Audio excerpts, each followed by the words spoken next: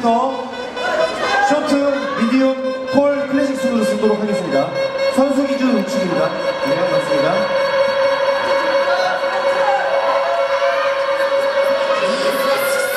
자, 선수분들은 무대 앞으로 나와서 정렬해 주시기 바랍니다.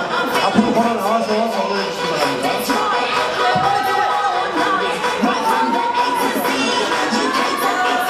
선수는 가장 자신 있는 전면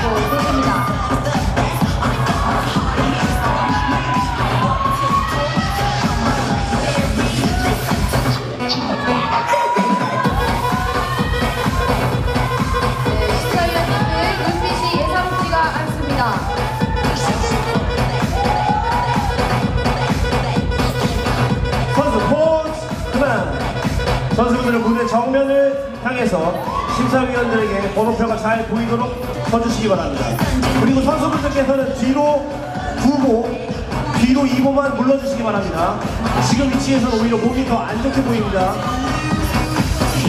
네, 심사위원님들이 지금 꼼꼼히 체크를 하시고 계십니다.